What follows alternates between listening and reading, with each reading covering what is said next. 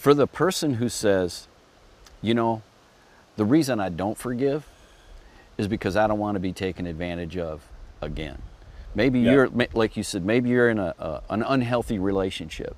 Mm-hmm. If I forgive the person who's creating this to be an unhealthy relationship, don't I just open the door for them to hurt me again? You do. You forgive them and you release them. But that doesn't mean, uh, if if it was sexual abuse, that doesn't mean that you let that person come back in and begin to do the same thing again, right?